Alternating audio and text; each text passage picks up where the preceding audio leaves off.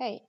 Jag tänkte säga någonting om eh, tangentbordsproblem när man skriver tentan med Respondus Lockdown Browser. Det är väldigt viktigt att man på förhand eh, testar så att man verkligen eh, kan skriva alla tecken man behöver skriva.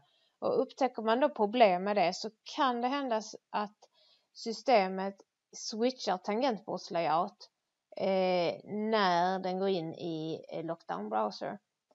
Och då om vi har Windows 10 så ska vi titta på ett sätt som brukar hjälpa för att förhindra detta. Eh, först kan ni gå ner till toolbaren här och se om ni har eh, den här ikonen. Eh, om ni har det så kan ni klicka på den. Eh, och här ser vi då att jag har eh, tre olika tangentbordslayouter eh, och språkinställningar eh, i mitt system. Det här kan ju då potentiellt göra att den plötsligt switchar över till en, en av de andra. Eh, så då är min rekommendation att man går in på Language Preferences och tittar i listan här eh, och helt enkelt tar bort alla som inte är exakt den man vill ha. Så att jag, vill, jag är ju van vid mitt svenska tangentbord så jag behåller svenska Sverige. Och så tar jag bort eh, English Sweden och English United Kingdom här.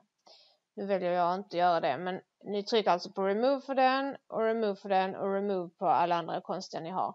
Har ni inte alls svenska Sverige så får ni eh, försöka lägga till den genom att trycka på plusset där. Eh, där har vi den då. Så det är det bästa att göra. Ta bort alla dumma tangentbordslayouter som ni inte vill ha.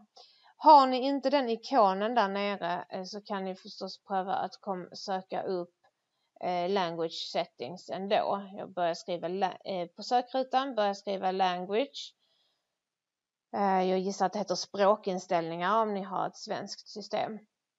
Och så går vi in på den där och då kommer vi till precis den rutan som jag var innan. Så det är mitt första, eh, mitt första tips, att ta bort de som ni inte behöver. Gå sen in på testtentan testa igen eh, och se om det hjälper. Annars hör av er. Tack så mycket.